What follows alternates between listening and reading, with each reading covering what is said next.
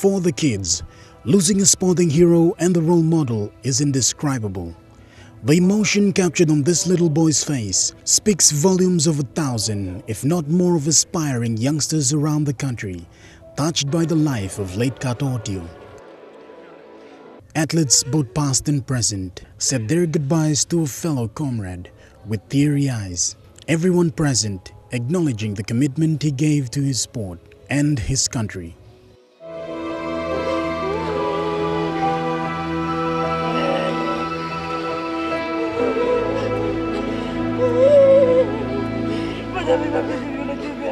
Ottio's passing, like that of any loved one, has left behind a vacuum in his immediate family's life and those close to him.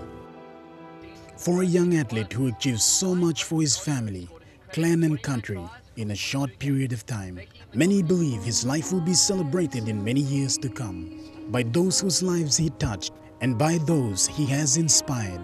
And after all the mourning and sadness witnessed here today, late Kato Ottio will be remembered for his personality, his charisma and humble character, a soul destined for greatness, gone too soon.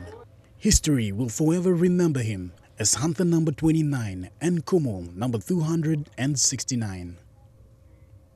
Shane Saroya, National EMTV Sports.